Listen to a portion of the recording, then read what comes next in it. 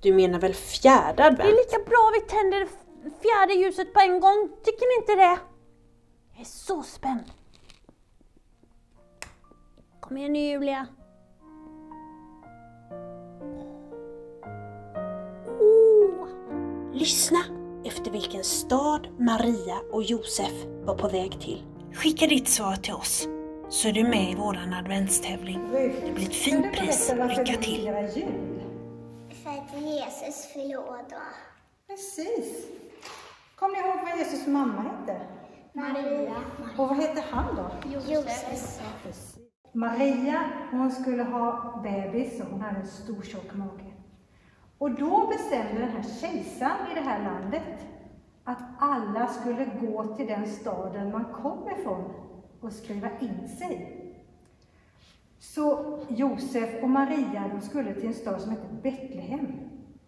Så de packade sin åsna med lite kastruller och filtar och kanske en bebisfilt också, för Marias mage växte och växte. Och de vandrade och vandrade och vandrade och så över och så vandrade och vandrade. Och sen kom de till Betlehem.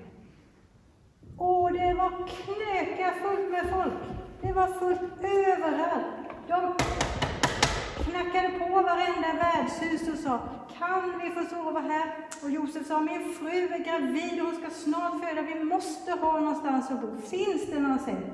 Nej, sa han. Och de gick vidare och så kom de till ett värdshus och sa, snälla, snälla, sa Josef, min fru ska säkert föda när som helst. Och vi måste ha tak över huvudet i alla fall, så att vi inte behöver vara ute i natt. Ja, sa värdshusvärden, alla sängplatser är upptagna, det finns inga platser. Men jag har ju ett stall, det är i alla fall varmt och, och det är tak över huvudet om det börjar regna och så. Ja, sa Josef, vi tar det där stallet, tack så jättemycket. Så de gick in i stallet där djuren bodde. Och så kände ju Maria, nu var det dags. Sen födde ju Maria en liten gosse. Vad hette han nu igen? Jesus. Jesus. Ah, la de honom i en säng eller vad gjorde de med honom? La i matskålen. Precis, de la honom i djurens matskål. Och, som man kallar för krubba. Och precis utanför det här stallet så var det en äng. Och på den här ängen så var det herdar. Hand om får, ja. Så de hade ju liksom tänt en eld och de hade liksom försökt att komma till ro och de var lite småsömniga de här herdarna. Och bäst vad det var, när de hade gått och lagt sig, så kom det en ängel. Och det blev så ljust! Det blev så ljust som det var dag liksom. Och ängeln sa, var inte rädda. Jag kommer från Gud och jag ska berätta att i natt har Guds son fötts.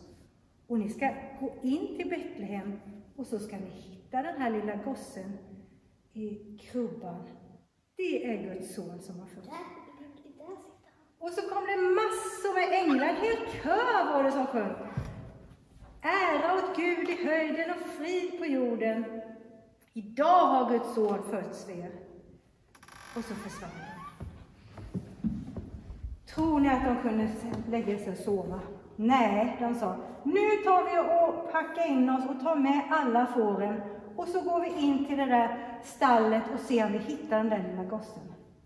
Så de vandrade in och mycket riktigt, där fann de det lilla barnet, Josef och Maria.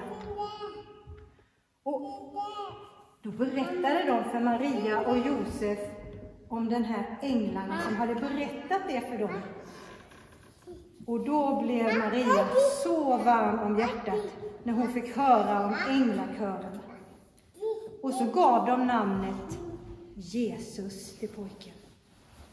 Och det här hände för nästan 2000 år sedan. Och det tycker vi är så viktigt, så det är därför vi firar jul. För att komma ihåg att det är hans födelsedag. Då var det några kloka, visa män som bodde längre bort. De tänkte så här, vi måste följa stjärnan. Vi måste se och gå till den här någon kung har fötts. Men de hann inte fram på julafton. Ja. Först firar vi jul Ja. och så firar vi nyår. Ja. Och sen kommer de här tre Ja. vise männen. Oj, så fullt det blev. Det var nog det också när alla var där och ville titta på Guds son som hade fötts.